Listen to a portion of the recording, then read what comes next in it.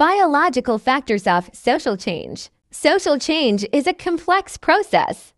It is caused by multiple factors. All factors of social change are closely related to each other, but at the same time, each individual factor brings change in society in its own way.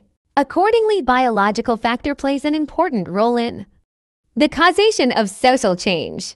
An ordinarily biological factor refers to those which are concerned with the genetic constitution of the human.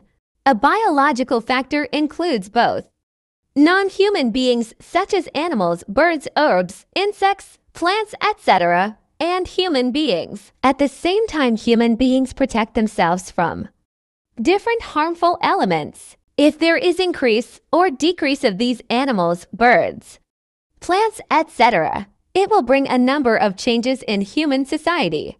Rapid decline of useful animals